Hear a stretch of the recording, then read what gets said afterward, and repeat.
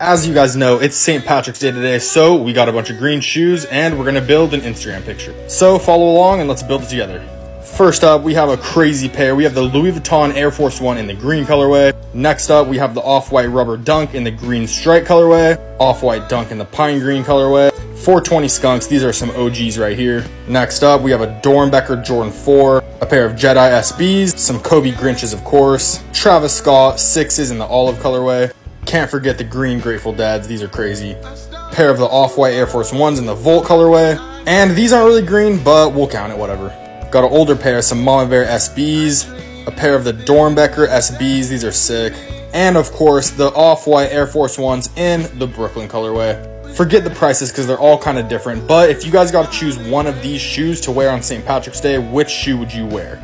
I'd personally drop the Brooklyns and I'd go with the Louis Vuitton Air Force Ones. Make sure y'all check us out at Sunset Sneakers.